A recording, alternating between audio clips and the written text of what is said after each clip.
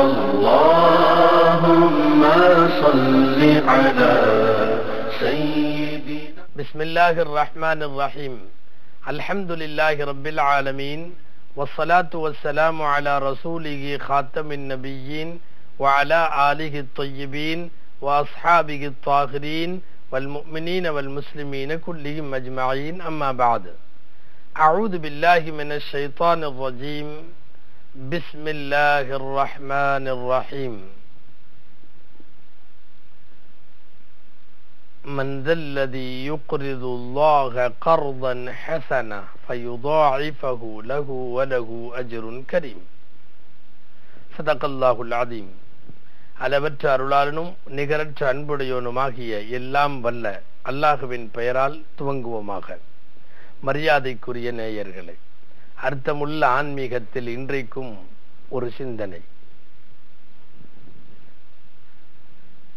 அந்த ஹலீஃபாவுக்கு கடைசி நேரம் இது. உரி உயிர் பிரிய போகிற தருணம். மரணத்திற்கு சில நாட்களுக்கு முன் படுக்கையிலே கிடக்கிற உடல் நலம் குன்றி பாதிக்கப்பட்டிருக்கிற அந்த ஹலீஃபா நிதி அமைச்சரை அழைக்கிறார். நிதி அமைச்சருக்கு பெயர் ஹதரத் முஐகி பிரதியல்லாஹு அன்ஹு. பொருளாதார நிபுணத்துவம் காசு பணங்களை கையாளுவதில் கைதேர்ந்த தன்மை இவை எல்லாவற்றிற்கும் மேலாக அவர் பெற்றிருக்கிற அமானிதம். ரசூல் சல்லா அலி செல்லமுடைய காலத்தில் இருந்து இவருக்கான மரியாதையை ஹலீஃபாக்கள் காலம் வரை இந்த மரியாதை கூட்டப்பட்டிருக்கிறது. இந்த மரியாதை மிக நேர்த்தியாக பாதுகாக்கப்பட்டிருக்கிறது. அந்த முஐகிப் நிதி அமைச்சரை அழைத்து ஹலீஃபா கேட்கிறார் அப்புறம் கணக்கு வழக்குகள் என்ன நிலையில் இருக்கிறது? நான் உமக்கு தர வேண்டியதெல்லாம் என்ன நிலையில் இருக்கிறது? நிதி அமைச்சர் முஐகீப் சொன்னார் ரதியல்லாஹு அரசாங்கத்திற்கு நீங்கள் தர வேண்டிய காசு பணம் ஒன்றுமில்லை எல்லாம் கணக்கு நேராகிவிட்டது.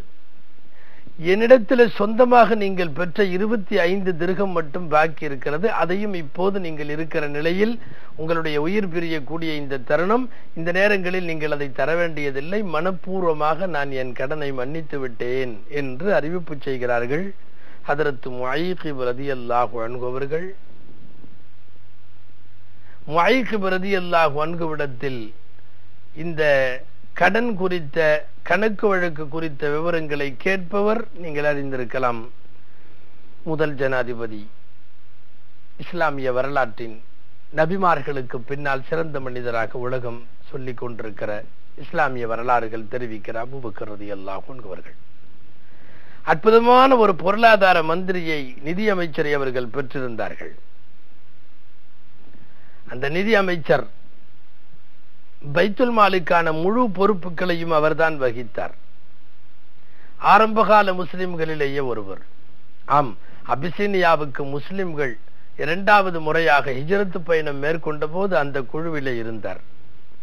சில வரலாற்று ஆசிரியர்கள் இப்படி பதிவு செய்வார்கள் அபிசீனியாவிலே இருந்து நேரடியாக மதினாவிற்கு ஹிஜரத்து போன உலகத்தின் மிகப்பெரிய பாக்கியத்தை பெற்ற இரண்டு ஹிஜரத்தினுடைய பாக்கியத்தை பெற்ற பெருமக்களில் இந்த முஐகிவும் ஒருவர். நிறைய சிறப்பு தகுதிகள் இந்த பொருளாதார மந்திரிக்கு உண்டு. சல்லல்லாஹ் ஒலிக செல்லத்தினுடைய மோதிரம் முத்திரை இவர்களிடம் இருந்தது. சல்லல்லா அலிஸ்லம் இவர்களிடம் கொடுத்து வைத்திருந்தார்கள். அந்த முத்திரை இவர்களிடம் இருந்த காரணத்தினாலேயே அபுபக்கர் ரதி அல்லாஹு அன்பு உமர் ரதி அல்லாஹு அன்பு உஸ்மான் ரதி அல்லாஹு அன்பு போன்றவர்களால் கூட அவர்களுடைய ஹிலாபத்தில் மிகப்பெரிய பொறுப்பில் வைக்கப்பட்டார்கள் என்பது மட்டுமல்ல ஹலீஃபாக்களின் மரியாதைக்குரியவர்களாக திகழ்ந்தார்கள்.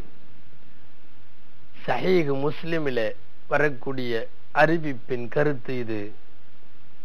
அவர்களே சொல்லுகிறார்கள் அவர்களுடைய கையில இருந்து ஒரு முறை வீரமழுனா என்ற கிணற்றில் சல்லல்லா அலி செல்லமனுடைய அந்த முத்திரை மோதிரம் தவறி விழுந்தது. அதற்கு பிறகு அது கிடைக்கவில்லை. கிடைக்க கூடாது என்பதும் அல்லாஹுடைய ஏற்பாடாக இருக்கலாம். கிணற்றிலே விழுந்தது திரும்ப கிடைக்கவில்லை.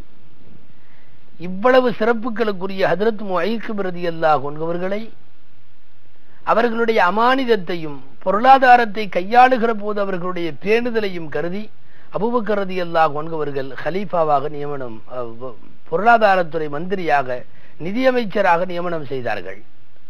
அவர்களை தொடர்ந்து உமர் ரதி அல்லாஹனுடைய காலத்திலேயும் இவர் நிதி அமைச்சர் உஸ்மான் ரதி அல்லாஹனுடைய காலத்தில் இவர் வஃத்தாகிற வரை இவரே நிதி அமைச்சர் பெரிய பொறுப்புகளை வகித்தவர்கள். இப்போது உஸ்மான் ரதி அல்லாஹனுடைய காலத்தில்தான் இவருடைய வஃபாத்து நடக்கிறது. வஃபாத்து வரை மிகப்பெரிய அளவில் பைத்துல் மாலை கட்டி காத்த இஸ்லாமிய நிதி அமைச்சர் ரதி அல்லாஹு இவரைத்தான் கூப்பிட்டு அனுப்பினார்கள் மரணப்படுக்கையில் இருக்கிற போது. கணக்கு வழக்கு கேட்டார்கள் மேலே சொன்னது போல் அரசாங்கத்திற்கு எதுவும் பாக்கி இல்லை. எனக்கு தர வேண்டிய இருபத்தஞ்சு திருகம் நீங்கள் தருவதற்கு எந்த பிரயாசையும் எந்த முயற்சியும் எடுத்துக்கொள்ள வேண்டாம். என்னுடைய மனப்பூர்வமாக நான் அதை மன்னித்து விட்டேன் என்று சொன்னார் முயக்கு பிரதி அல்லாஹு தாலா அன்புவர்கள் இங்கே கடனை மன்னிக்குதல் குறித்த ஒரு சின்ன சிந்தனை. கடன் ஒரு பெரிய சுமை. கடன் சாதாரண சுமை அல்ல. கடனை கொடுக்காமல் வஃபாத்தாகிற போது மறுமை மறுமையின் சொர்க்கத்தை என்னுடைய வாடையை கூட கடனாளி அனுபவிக்க முடியாது. அதனால் மிகப்பெரிய அந்த சுமையை நிறைவேற்றுவதில் நல்ல முஸ்லிம்கள் எப்போதும் ஆர்வம் காட்டுவார்கள். அதிலும் முன்மாதிரி முஸ்லிம் அபுபக்கரதி அல்லாஹ் அன்கு மிக அதிகமாகவே ஆர்வம் காட்டினார்கள். அபுபக்கர் சித்திய கருதி அல்லாஹ் அன்கவர்கள் சொன்னார்கள் நீ மன்னிக்கிறேன் என்று சொன்னாலும் மன்னிக்காவிட்டாலும் நான் தர வேண்டிய இருபத்தஞ்சு திருகத்தை கட்டாயம் தந்துதான் ஆகுவேன். கடன் மாத்திரம் மன்னிக்கப்படாமல் மறுமையிலே அல்லாஹுவை சந்திக்கிற துர்பாக்கிய நிலையில இருந்து நான் அல்லாவிடம் பாதுகாப்பு தேடுகிறேன். யார் இந்த அபுபக்கரது அல்லாஹ் அன்கு பொருளாதாரத்தை கையாளுவதில் மிகப்பெரிய நிபுணத்துவம் இவர்களுக்கு உண்டு. அத்தனையும் அல்லாஹுவின் பாதையில் என்ற வார்த்தைக்கான முதல் இலக்கணம் இவர்கள்தான்.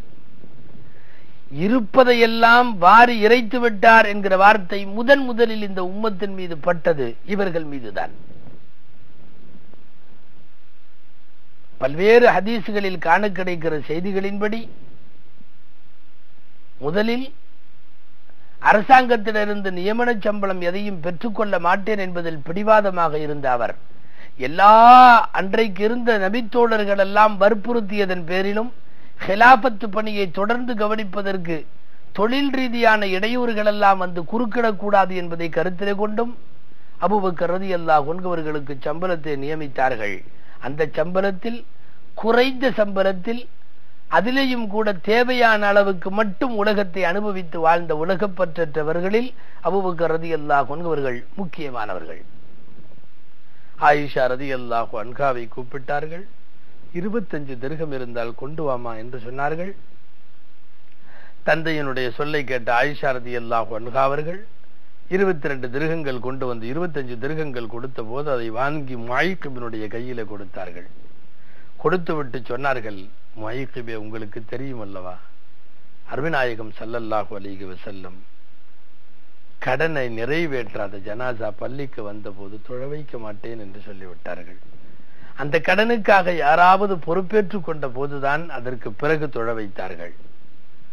கடனாளியாக வரக்கூடிய ஜனாசாவுக்கான இறுதி மரியாதை செய்வதற்கு கூட சல்லல்லாஹு அலிக வஸல்லம் விரும்பியது கிடையாது.